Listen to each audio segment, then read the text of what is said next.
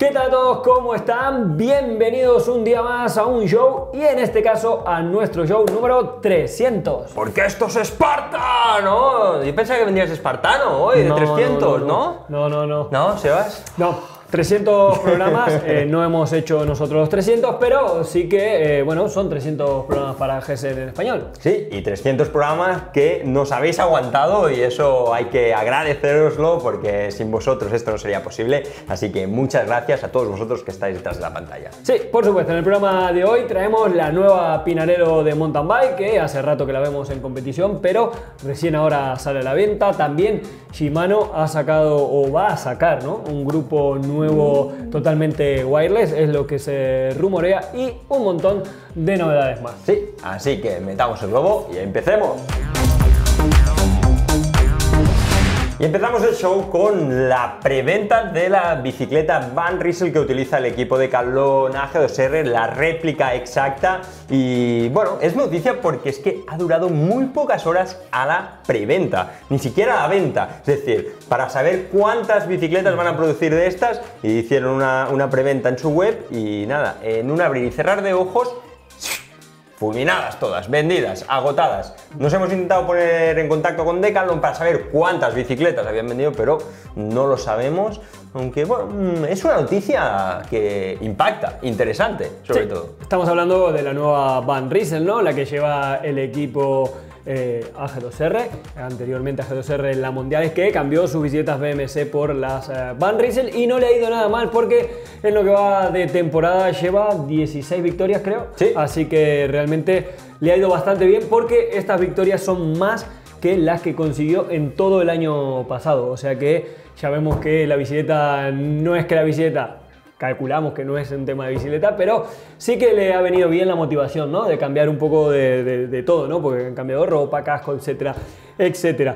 Y bueno, esta bicicleta, obviamente, una de las cosas que ofrece es tener unos precios más bajos que sus competidoras, ¿no? Eh, a misma calidad de componentes, tener un precio más eh, reducido. Eh, sin duda, eh, bueno, algo que el público agradece. Sí, sí, es que ha entrado como elefante en una chatarrería Van Riesel y la verdad que es que impacta por el rendimiento de las bicicletas, también por el precio y sobre todo porque leyendo entre líneas esta noticia te das cuenta de que han abierto la guerra a ver quién es la marca que empieza a sostener estos precios, bueno, sostener no, a bajarlos, ¿no? De los precios a los que veníamos y bueno, mm, para muestra un botón, esto para mí es un ejemplo de que puedes tener bicicletas de alta gama a precios cada vez un poquito más razonables. Sí, bueno, fue siempre una de las, eh, digamos, em, de las cosas que ha hecho Decathlon. Lo que pasa que muchas veces, por no tener esta exposición en un equipo grande, en el ciclismo, digamos que no era Van Riesel, no era una marca considerada, ¿no? Porque, bueno, todos eh, lo asociaban solo con Decathlon, Decathlon, cosas baratas, no sé qué, etcétera, etcétera. Pero la realidad es que siempre ha, ha producido cosas de calidad. Estamos hablando que supuestamente la bicicleta eh, que es eh, réplica, réplica eh, vale alrededor de unos 9.000 euros, eh, con todo Durace, con ruedas altas, bueno, etcétera, etcétera. Pero hay una versión que eh, sería una versión con eh, Ultegra. Ultegra, Ultegra exactamente, y sí. ruedas SIG 404, unas ruedas de muy buena calidad, y estaría sobre los 5.000 euros.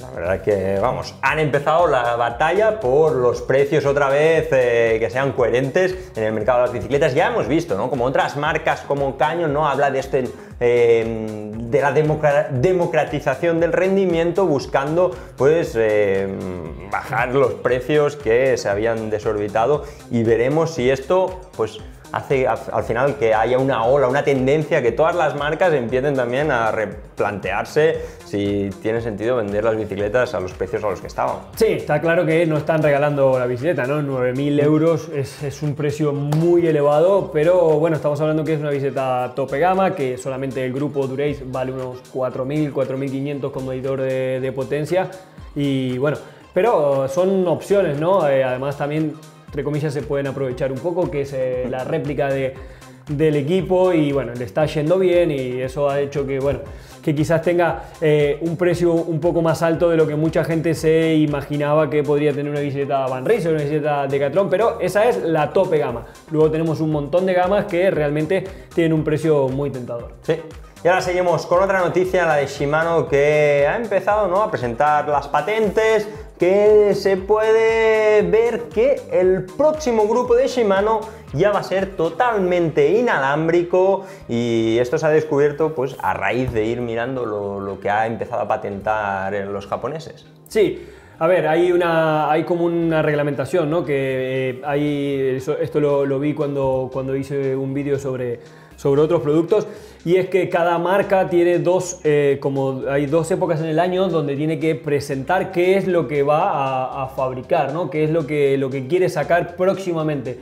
Entonces, muchas marcas eh, tienen la obligación de sí o sí, 4, 5, 6 o 10 meses antes, lo que sean, poner eh, ahí qué es lo que van a sacar. Mm. Y es lo que le ha pasado seguramente a Shimano, siempre, o lo mismo a RAM, ¿no? Siempre hay gente que está ahí mirando esa lista y han encontrado un nuevo diseño que está sacando Shimano y por todas las características que hay en este, en este diseño parece que va a ser un equipo, un grupo totalmente wireless. Sí, ahora los sistemas D2 que utilizas, eh, utiliza Shimano son, podríamos decir, semi-inalámbricos, ¿no? ya que las manetas sí que ya lo son, pero luego siempre el desviador va conectado a una batería central por cable, que es lo que permite ¿no? el funcionamiento y con esta nueva patente ya se puede pues, mm, ver que hay una batería integrada en el desviador delantero, en el desviador trasero, también, que permite conexión por cable, en el caso que no quisieses llevar esa batería. Pero bueno, eh, es un paso que tenía que hacer eh, Shimano porque ya el RAM eh, trabaja así, con sistema wireless, inalámbrico, sin cable. Campañolo con el EPS también lo hizo y era, pues bueno, yo creo que un paso normal que tenía que hacer Shimano también. Sí, seguramente será el, próximo paso, ¿no? Shimano también allá hace un tiempo sacaron el grupo electrónico de montaña, pero para, para bicicletas eléctricas.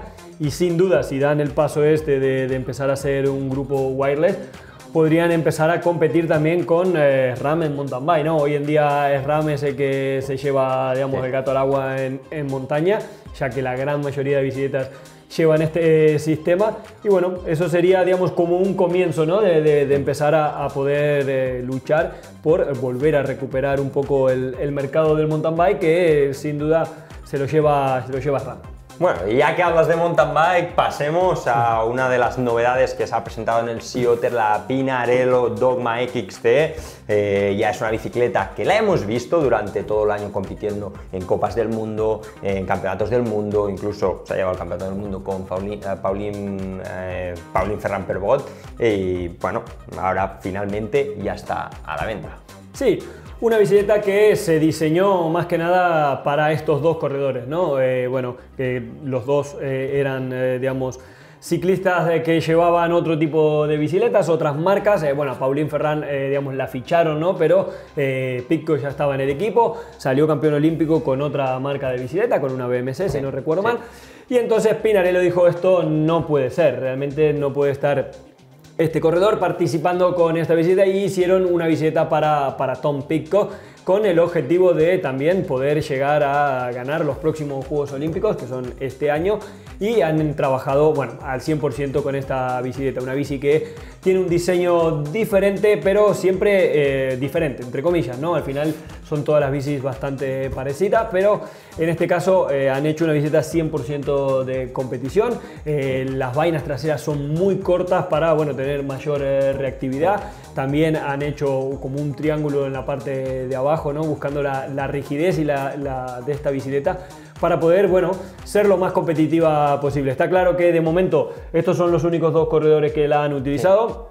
Les va muy bien, eh, les ha funcionado muy bien, pero no tenemos más referencia porque son las únicas dos bicicletas que había en el mercado. A ver, llamando a Pinarello, por favor, si nos pueden mandar unas bicicletas para probar. Ahora que estamos ahí entrando en el mountain bike, a ver, tendremos que probar, ¿no? Eh, cosas también interesantes de esta bicicleta, ¿no? Como veis, el diseño es un diseño Pinarello con sus líneas, eh, bueno, mm, siguiendo siempre la estética que tienen sus bicicletas. Temas de las suspensiones también es interesante, que admite horquillas de 100 de recorrido hasta 120 en la parte delantera y el amortiguador trasero de 90 a 100. Sí, son dos versiones, digamos. Está la de 90, que eh, amortiguador trasero, que viene con horquilla de 100 y la de 100 que viene con eh, horquilla de 120. Es un sistema monopivote, como es digamos, lo más eh, efectivo, entre comillas, en el, en el cross country. Sobre todo también permite llevar dos portavidones, que siempre es complicado con, con un con un, digamos, con un amortiguador vertical, ¿no? Eh, entonces, bueno, eh, ahora han presentado también la, la rígida, eh, la que también ha llevado muchas veces Paulín Ferrán, que ha ganado con, con esa bicicleta bastante, porque bueno, es una bici que a ella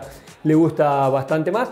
Y han sacado varias gamas y, por supuesto, a distintos precios. Sí, la Peinarello XC será la de entrada, la bicicleta más básica, pero más básica, que te viene ya montada con un, con un RAM, eh, aquí, aquí lo estaba viendo. Eh, sí, con el Eagle Access. Eh, entonces, estamos hablando de una bicicleta de a partir de unos 7.000 euros y luego ya, bueno, eh, si es doble suspensión, eh, van subiendo los precios hasta llegar a la Dogma XC, que son aproximadamente unos 13.500 euros. Y esa es la bicicleta que, bueno, sería la réplica, ¿no? De, de Tom Pico con esa, digamos, con esos colores, esas, bueno, esas cartas, ¿no? Los naipes que tiene que realmente, eh, bueno, le dan un toquecito especial. Sí. Y para finalizar este bloque de noticias, pues una que nos ha llamado mucho la atención, porque nuestros compañeros de GCN estuvieron en el Sioter y se está viendo como cada vez eh, la industria del ciclismo está apostando más por utilizar materiales reciclados, ser más sostenible y bueno, ser un poquito más verdes y bueno, se están viendo cosas ya mm, de todos los tipos, bicicletas, cascos, eh, componentes. Sí, hicimos un vídeo que salió el día de ayer donde mostrábamos la Igus Bike, que es una bicicleta que está fabricada en 92% eh, en, eh, digamos, de plástico. Solamente lo, lo que tiene de plástico son los discos de freno, calculo que las pinzas y eh, los cables. La cadena es una, es una cinta y 50% de este plástico se saca del mar. A ver de dónde viene el otro 50, ¿no? Ahí, Bueno, ahí, sí. 50-50, ¿no? Bueno, calculo que Sí. será reciclado de otro, de otro sitio, pero bueno, es como que muchas marcas están hoy en día haciendo hincapié en que, bueno, están eh, sacando eh, el plástico del mar, ¿no? De tanto que, que va quedando, de las redes, de las cosas que la gente tira, etcétera, Sí, sí, sí. etcétera, y bueno, eso también es, es importante. Sí, quien también aprovechaba las redes eran la gente de Vitoria para el nuevo neumático que ya hablamos de él eh, cuando anunciábamos algunas de las novedades que se vieron en el Taipei Show, pues ahora Sea Otter lo han presentado, podríamos decir de manera oficial, el que será el Vitoria Terreno Pro T60 Mix Gravel, que está hecho con un 92% de eh, materiales reciclados y que tiene unas altas prestaciones tanto en durabilidad como eh, también resistencia a los pinchazos, así que tiene buena pinta. Sí, también aquellos que ya no escuchen más eh, CD de música, se los pueden mandar a la marca Láser porque bueno, están haciendo cascos urbanos reciclando los CDs. No sé exactamente cómo es el tratamiento que utilizan, pero bueno, sí que eh, bueno, se mostró aquí que eh, están eh, pudiendo fabricar eh, cascos urbanos con este material. Sí, y estamos viendo un cambio ¿no? de aires en la fabricación gracias a la innovación, al uso de nuevas tecnologías, también pues intentar hacer una economía más circular, ¿no? aprovechar y de esta manera reducir el impacto que tiene la fabricación ¿no? de componentes de bicicletas en el medio ambiente, porque hombre, el ciclismo, el ciclismo es un deporte limpio, entonces es un deporte verde, hay que pues, mm, honrar a eso ¿no? y ser un poco conscientes. Sí, el deporte es limpio, lo que pasa es que hay mucha gente que a veces no, no es tan limpia, así que ya saben, ¿eh? los geles, las barritas, todo lo que llevan al bolsillo. Y bueno, estas han sido las eh, novedades, algunas traídas del Shotter, otras que han aprovechado esta semana para presentar y como siempre nos gustaría saber cuál de todas estas es la que más le ha llamado la atención.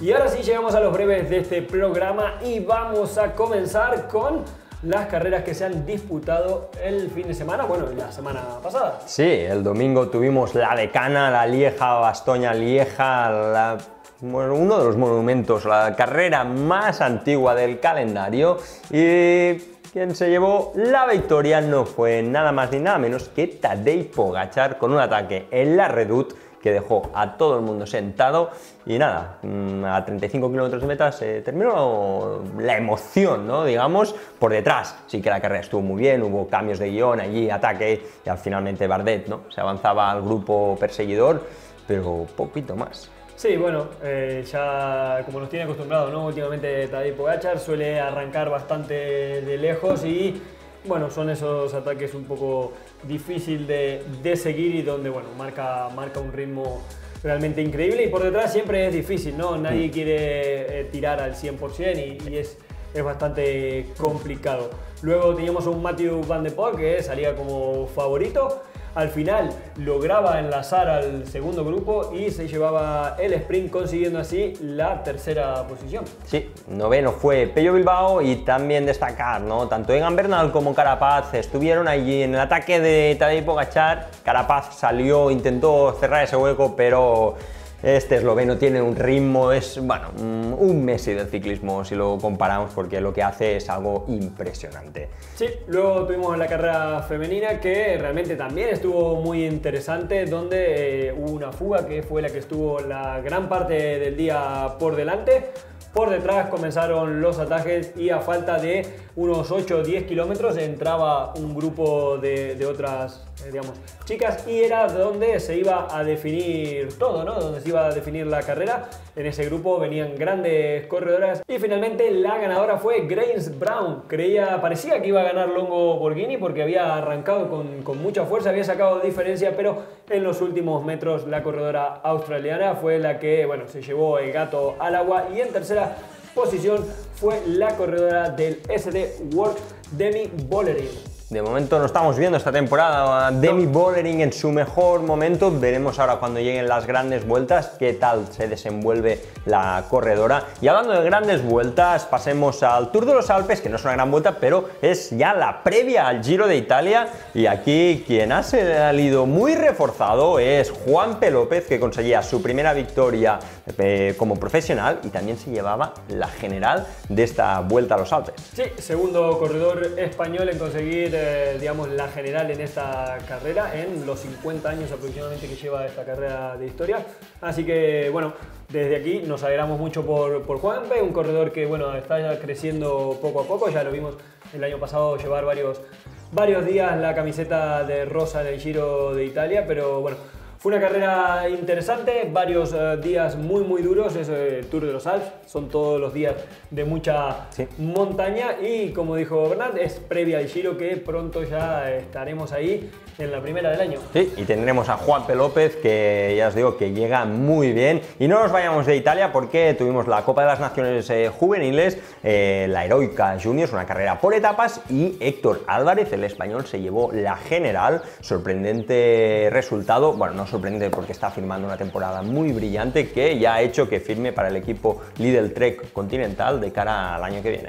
Sí, impresionante, cada vez más jóvenes.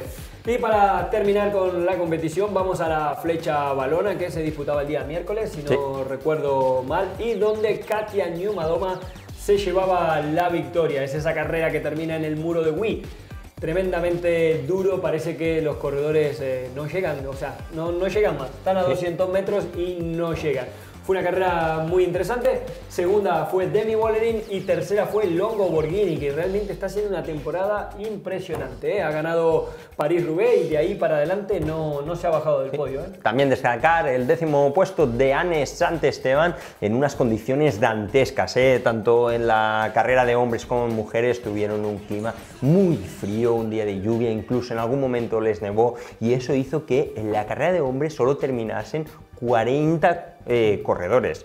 Mm, muchos de ellos, de muchos de los grandes favoritos, se bajaban de la bicicleta tiritando. Hay imágenes de Skelmos que se le veía prácticamente en estado de hipotermia y bueno, fue una carrera muy dura y por eso también unos resultados, mm, bueno, mm, sorprendentes eh, dentro de los nombres que habían en, la lista de salida, pues aquí al final el que aguantó todas esas condiciones y quien se mostró el más fuerte de la carrera fue Stephen Williams, que ya empezaba el año ganando en Australia y ahora se lleva esta clásica. Sí, también muy buen resultado de Buitrago que eh, terminaba quinto y ya sabemos que al colombiano tampoco le va muy bien el frío, no es eh, su fuerte, pero bueno, se ve que está en un buen momento de forma y ha podido aguantar eh, bastante bien y así ha conseguido la quinta plaza. Y para terminar, esta vez nos vamos a el... eh, Brasil, al mountain bike porque se disputaba la segunda prueba de Copa del Mundo y bueno, en el short track el que se llevaba la victoria en hombres será Víctor Koreski por delante de Christopher Blevins y en mujeres será la americana Batten. Sí, realmente un circuito interesante, ¿no? Bueno, el short track es un poco más eh, reducido, ¿no? Eh, pero el día domingo ya se competía en el circuito completo, donde eh, unos días antes la UCI tuvo que meter un poco de mano para tapar algunos de los saltos y cambiar un poco el recorrido, ya que el circuito tenía 16 saltos y, bueno, en algunos de ellos eh, si te caías o por lo que fuese, estaba un poco peligroso. Entonces, bueno, tuvieron que hacer un par de modificaciones y nada, un circuito realmente espectacular donde eh, la americana volvía a repetir eh, victoria en la carrera femenina y, y la que había ganado el fin de semana pasado era segunda. Sí, y en la prueba masculina quien eh, daba la sorpresa era Simon Andreasen con un sprint muy ajustado con Koretsky que conseguía pasarle nada, poco del final y se hacía con la victoria de esta segunda Copa del Mundo. Sí, tercero su compañero Hatterley y eh, como dijimos anteriormente, una carrera que estuvo espectacular, aquellos que tengan la oportunidad de verla, porque bueno, es, increíble, un circuito muy, muy, muy emocionante. Eh, decimoctava posición para Joseph, eh, Joseph y 42 para Valero, que no le han salido muy bien las cosas estos dos fines de semana, pero bueno, eh, todavía queda para el gran objetivo de cara a las Olimpiadas. Todavía queda Sí, y el chileno Vidaurre séptimo, eh, que sigue haciendo muy buenos resultados en Copa del Mundo. Y ahora, para terminar estos breves, vamos con unas novedades de nuestros amigos de Strava, que bueno, han actualizado sus mapas para que puedas descubrir eh, nuevas carreteras, nuevas rutas y añadiendo los mapas de calor para bicicletas de gravel o para bicicletas de montaña, para que así no haya confusión y no termines con tu bici de montaña mountain bike de doble suspensión por una pista de gravel o con tu bicicleta de gravel por una trialera con saltos como los de Copa del Mundo.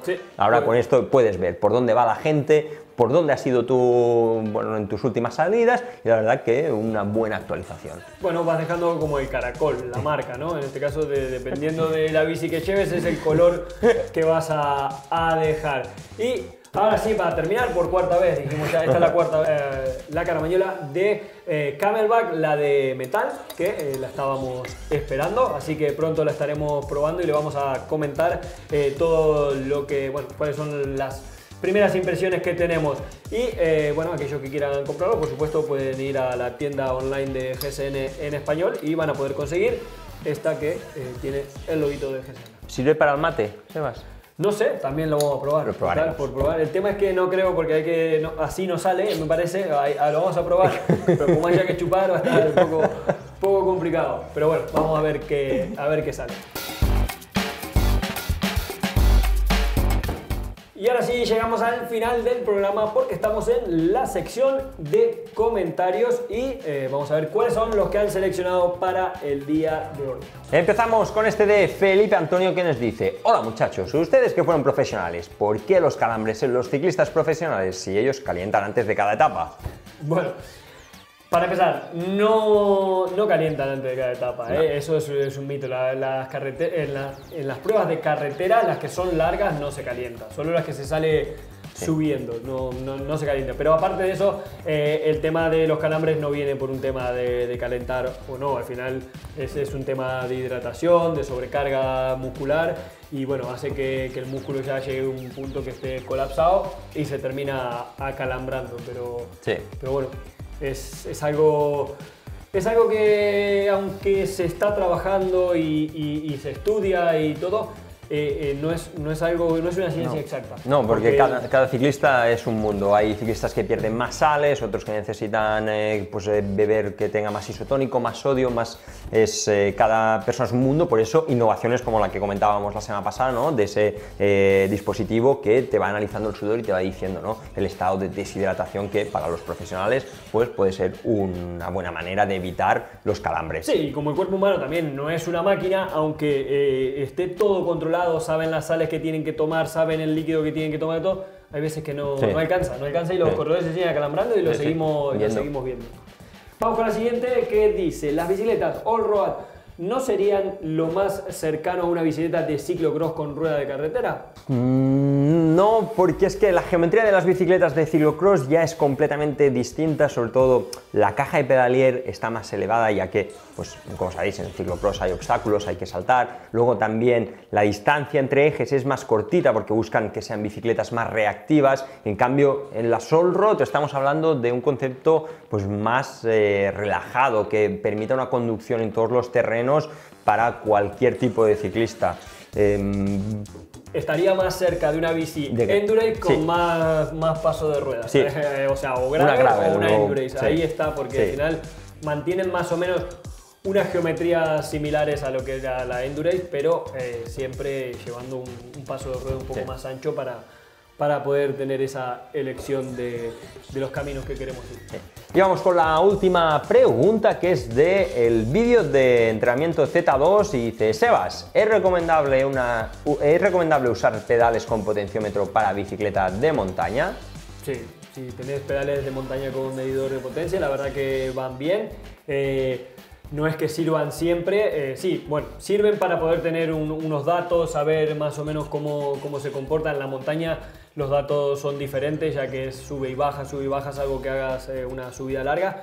Pero sí, se utiliza mucho para el tema de, mejorar, saber cuáles son nuestros límites y otras cosas. Pero eh, bueno, es, es- es un instrumento más para poder eh, mejorar aquellos que quieran realmente, digamos, hilar un poco más fino. Si no, eh, no sirve realmente de mucho. Llevarlo por llevarlo sin tener un plan de entrenamiento o un objetivo claro, realmente no, no va a cambiar nada.